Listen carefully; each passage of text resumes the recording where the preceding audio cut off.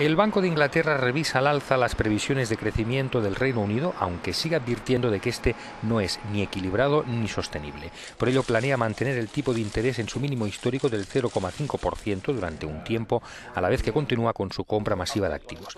En su informe trimestral sobre la inflación, el organismo dirigido por Mark Carney elevó el crecimiento pronosticado hasta ahora en 2014 del 2,8 al 3,4%. Además avanzó que el paro puede descender del 7% este mismo año. Simultáneamente la inflación debe situarse en el 1,7% en marzo y seguir por debajo del 2% en 2015 y 2016.